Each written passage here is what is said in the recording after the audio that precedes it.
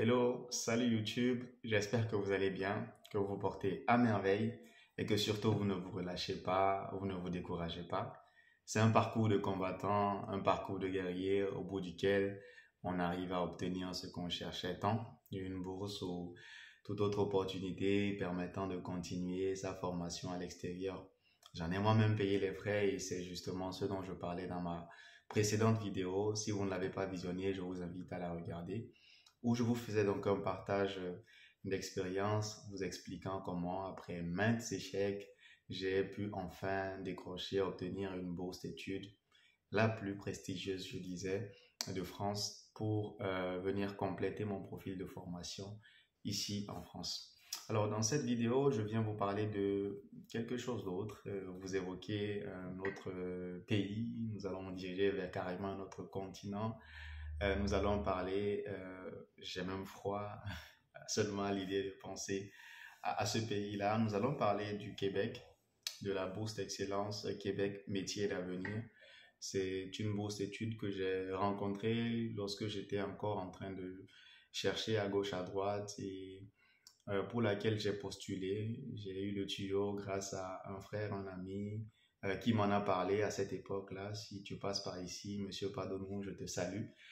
Et j'ai postulé et j'ai été retenu, mais je me suis retrouvé dans l'obligation de devoir refuser cette bourse parce que j'avais à la fois la bourse WAO qui m'a permis de venir ici en France et euh, cette bourse Québec Métier d'Avenir. J'étais retenu pour ces deux bourses et j'ai dû annuler, euh, désister, euh, demandant par le même fait que la bourse soit attribué à un autre étudiant, à un autre élève, euh, ce qui n'a peut-être pas été fait par la suite.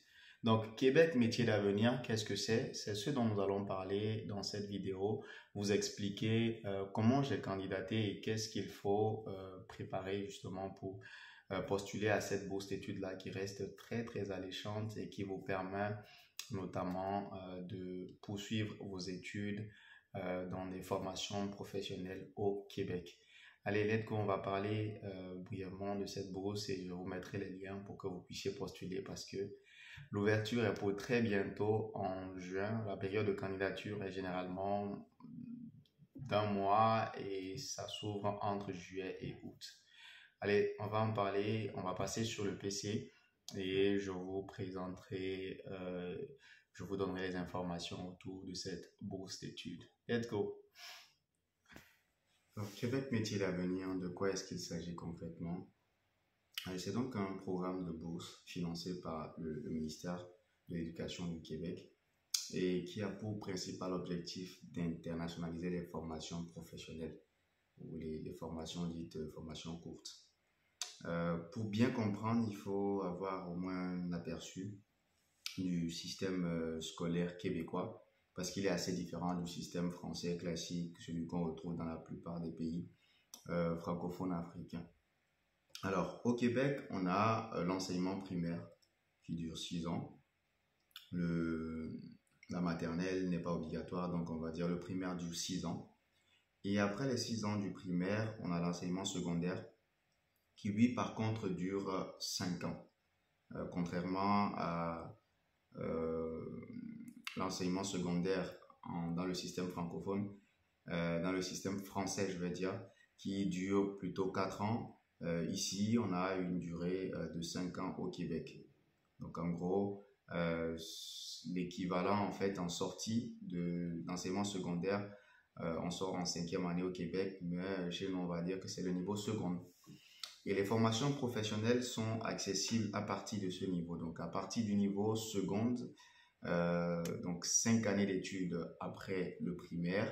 Euh, ça nous permet justement d'aspirer aux formations professionnelles. Donc on parle de cette zone-là ici, donc de, des formations qui sont là, euh, là où je, ce que je viens d'encercler. Donc ce sont des formations qui nous donnent au bout desquelles des formations courtes généralement de deux, maximum trois ans au bout desquelles on obtient une attestation d'études professionnelles, un diplôme d'études professionnelles ou une attestation de spécialisation professionnelle. Donc, c'est un peu euh, des formations qui euh, vous permettent d'entrer directement dans le marché du travail euh, en quelques temps. Donc, les, cette bourse d'études concerne justement ces types de formations-là, les formations professionnelles. Si on doit continuer après l'enseignement secondaire, on a l'enseignement collégial, ensuite et qui a deux parcours, deux différents parcours, la formation pré-universitaire, donc qui est un peu comme le lycée chez nous, mais qui dure plutôt deux ans la formation technique qui peut être vue comme un type aussi de lycée, mais des lycées techniques. Et au bout euh, de ces formations-là, de l'enseignement collégial, on peut passer maintenant au, euh, à l'enseignement universitaire qui, euh, c'est comme du LMD, mais on va plutôt dire du BMD, parce que la licence est vue comme le baccalauréat. Et c'est là vraiment le baccalauréat chez eux. Donc, ce qui nous concerne, nous, c'est ici. Donc, au niveau des formations professionnelles, donc, euh, qui nous permettent d'avoir une attestation d'études professionnelles, un DEP ou un ASP. Donc, cette bourse d'études vise justement euh, ces formations-là. Alors, il s'agit d'une bourse euh, qui, un programme en deux, un programme qui regroupe en fait deux différentes candidatures. Nous avons la bourse d'excellence qui est là, on ne le voit plus, c'est du rouge, et l'exemption des droits de scolarité seule. En gros, lorsque vous postulez à la Bourse Québec Métiers d'Avenir, c'est que euh, vous postulez en même temps à la fois à la Bourse d'Excellence et à euh, l'exemption des droits de scolarité seule. C'est quoi la Bourse d'Excellence? Elle inclut quoi? Il faut comprendre. La Bourse d'Excellence inclut déjà l'exemption des droits de scolarité. Donc, c'est le tout, en fait, le jackpot complet.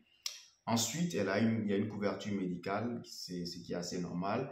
Et euh, une allocation qui va qui, qui varie entre 14 000 dollars canadiens et 26 600 dollars canadiens. En gros, pour résumer, ça fait à peu près 1200 dollars canadiens par mois. En fonction de la durée de la formation, ça peut aller jusqu'à 3 euh, ans. En général, les formations professionnelles durent 18 euh, mois. Donc, euh, généralement, ça dure 2 ans, on va dire. 2 ans de formation. La bourse d'excellence n'inclut pas les coûts des démarches d'immigration. Donc, même si vous avez la bourse, vous allez devoir faire les démarches par vous-même. Elle n'inclut pas le transport aller-retour vers le Canada et elle ne prend pas en compte euh, bah, une assurance, l'assurance qui concerne euh, qu'on doit avoir avant d'entrer, euh, avant l'entrée en vigueur de la couverture de la de, l'assurance qu'ils promettent dans la bourse. Donc, en gros, avant d'avoir l'assurance qui est là, là, ici, euh, ils ne vont pas vous couvrir. C'est tout ce que ça veut dire. Et elle ne couvre pas aussi les frais afférents à la formation. Dans les formations, généralement, euh, puisque ce sont des formations professionnelles, euh, il y a des matériaux, du matériel à acheter, des uniformes aussi à coudre. Et donc, la bourse ne tient pas, ne prend pas en compte cela. Mais dans certaines formations, je tiens à le préciser, euh, c'est inclus, donc le matériel pédagogique est parfois, une partie du matériel pédagogique est inclus dans les frais de scolarité. Et puisque vous êtes exempté des droits de scolarité, vous avez droit à une partie de ce euh, matériel-là. Ensuite, il y a une exigence euh, pour avoir la bourse d'excellence. Il faut forcément déclarer avoir au moins un minimum de 3000 dollars canadiens disponibles pour le projet de mobilité. On va dire que c'est l'élément bloquant qui empêche beaucoup de personnes de postuler à cette bourse études. Je me souviens que c'est l'année où j'ai postulé en 2021 que ça a été rajouté lorsque euh, je regardais, euh, j'étais en train de me renseigner sur la bourse. Il n'y avait pas cette euh, condition-là, mais je suppose qu'ils ont dû faire face à certains problèmes qui les ont obligés à rajouter cette condition qui est d'avoir 3000 dollars canadiens de disponibles. Alors comment moi j'avais fait? On était en période Covid. J'ai juste fait une attestation d'honneur disant que j'aurais cette somme-là, euh, ces 3000 dollars canadiens avant de venir sur le territoire canadien. C'est passé. J'ai pris le risque de faire juste une attestation euh, sur l'honneur disant que je réunirais ces sous parce que j'étais en confinement à cette période et que je n'avais pas la possibilité donc de sortir pour chercher des fonds ou euh, rassembler de l'argent euh, vu la condition. Donc j'ai utilisé en fait cet alibi-là, ce prétexte parce qu'en soi, même s'il n'y avait pas le Covid, je ne pense pas que j'aurais pu rassembler cette somme d'argent. Mais c'était opportun, j'en ai, profité, j'ai fait une attestation et c'est passé. Et sans vous mentir, il y a de la marge quant à, euh, il y a beaucoup de choses que vous êtes, vous êtes capable de faire, qui vous est donné de faire en fait pour justifier de la disponibilité de ces fonds. Vous pouvez aussi, par exemple, euh, utiliser les, comptes de vos parents, euh, justifier que vos parents ont une activité professionnelle qui pourrait vous permettre de réunir ces sous. Il y a beaucoup de moyens par lesquels vous pouvez passer pour justifier en fait la disponibilité ou bien euh, voilà de ces 3000 dollars canadiens. Donc c'est très important d'avoir au moins, vous pouvez faire un compte bloqué. ça peut être juste un prêt que vous avez fait, vous avez mis de l'argent, c'est 3000 dollars canadiens qui je sais pas beaucoup, hein, je crois, je ne sais pas faire les conversions dollars canadiens en francs CFA ou en euros, mais ce n'est pas assez, je trouve que ce n'est pas beaucoup et c'est le minimum demandé parce que quelle que soit la bourse d'études que vous obtenez, il y a une certaine dépense à faire quand même. Donc, c'est bien de s'y prendre très tôt et de commencer à penser à comment je vais justifier ces 3000 dollars canadiens.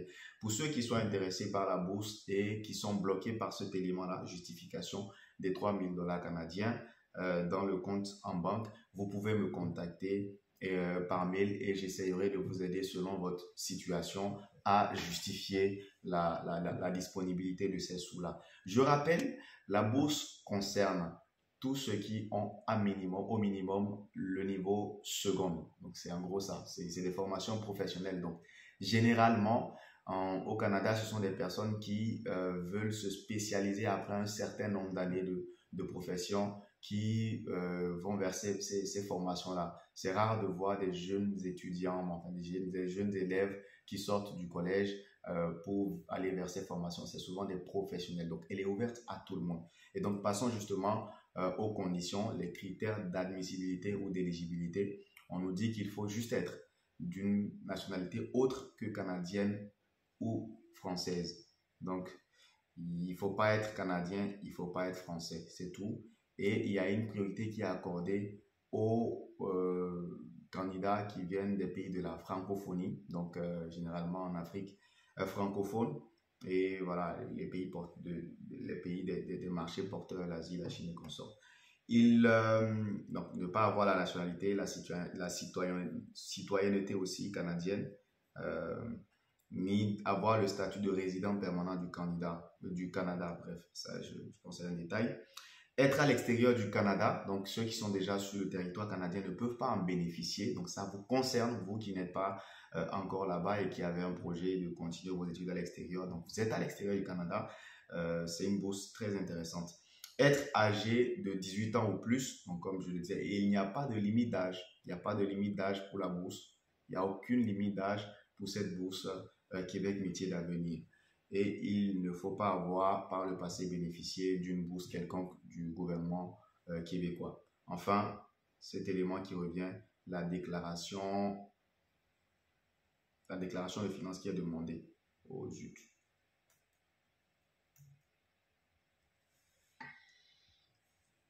La déclaration de finances qui est demandée.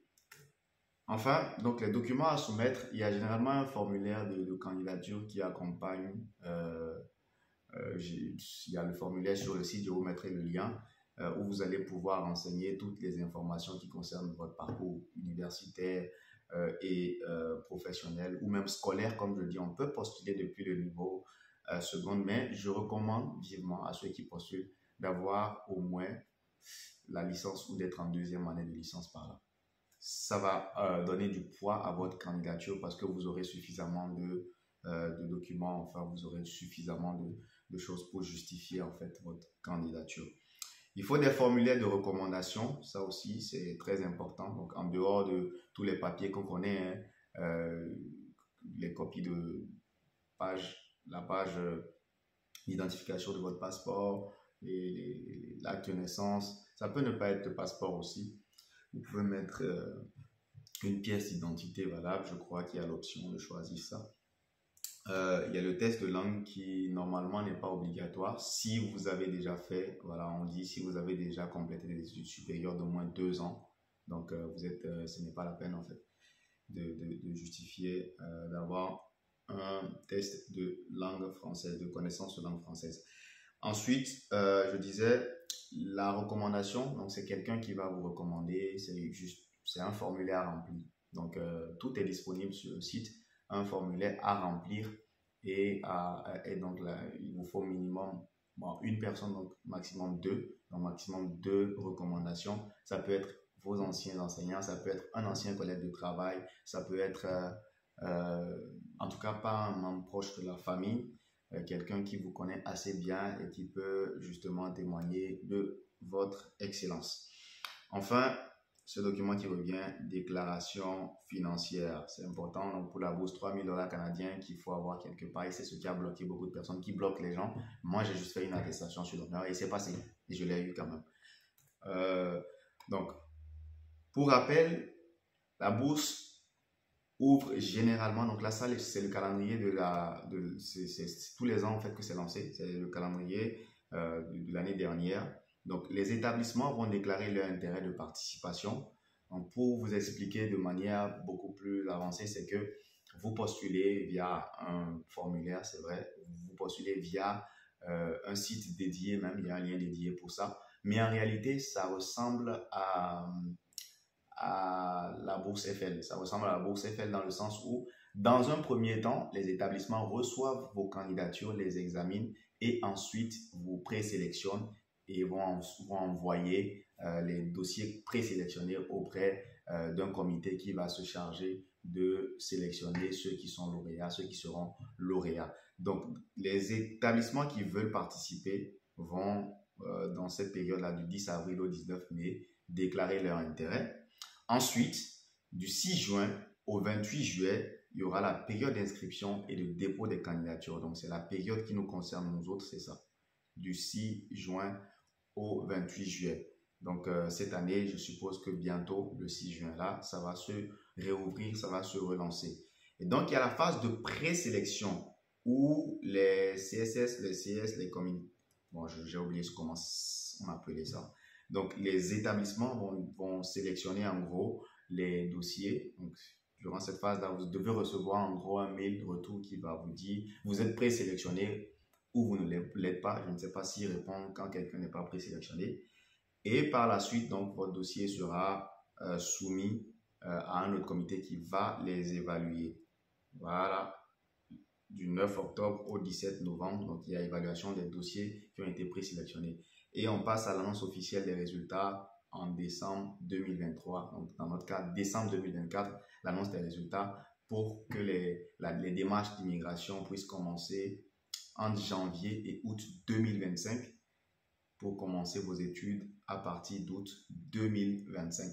Donc, cette procédure, c'est pour pouvoir commencer vos études au Canada en août prochain 2025.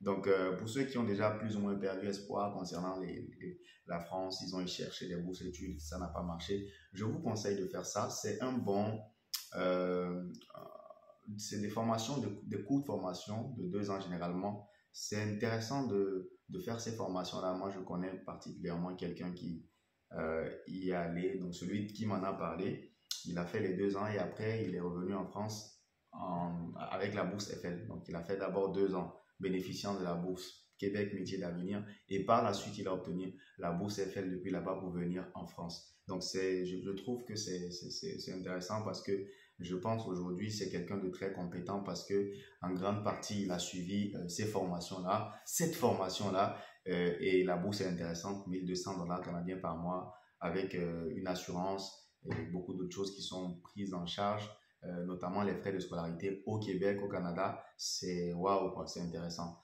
Donc moi je l'ai eu je l'avais eu j'ai été retenu mais j'ai dû désister parce que j'avais en même temps obtenu la bourse. Oui j'ai fait le choix de venir en, France parce que c'était euh, pour moi euh, ce qui me permettait de continuer logiquement euh, ma formation et de, poursuivre en thèse. Voilà, c'était mon projet, c'était de poursuivre en thèse. Donc, je ne me voyais pas aller vers une formation professionnelle qui allait par la suite me réduire à soit travailler, soit refaire encore une formation pour pouvoir aller en thèse.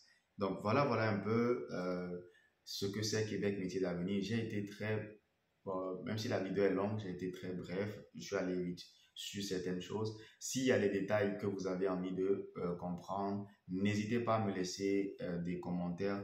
N'hésitez pas à euh, me, me, relancer même par mail et tout concernant la bourse. Je vous mettrai en description tout ce qui concerne Québec, métier d'avenir et je vous souhaite bonne chance. puissiez-vous obtenir cette, cette bourse d'études-là et que cela participe vraiment à, faire de vous ce que, ce que vous avez toujours rêvé d'être. Voilà, voilà, prenez soin de vous et on se dit à très bientôt pour une prochaine vidéo. Ciao